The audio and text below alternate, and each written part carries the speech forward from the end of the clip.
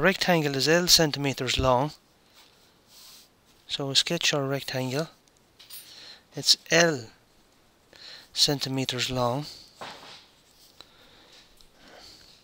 and it's 4 centimeters wide.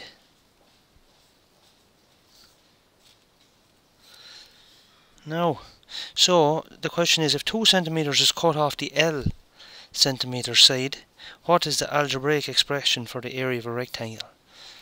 Well, first of all, the area of a rectangle under normal circumstances, the area of a rectangle equals the length multiplied by the width. Now, at the moment we have a length of L and a width of 4. But they're saying if 2 centimeters is cut off the L, well that means this, this, this L, we're going to chop off 2.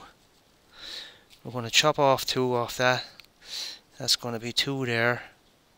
Chop off 2, so it's going to be, the length, is the new length then is going to be L minus 2.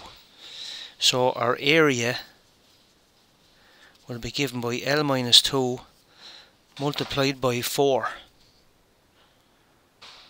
So we have to multiply these two items together to give us our final expression for the area of our rectangle. So the 4 gets multiplied by the L and that gives us 4L and 4 by minus 2 gives us minus 8.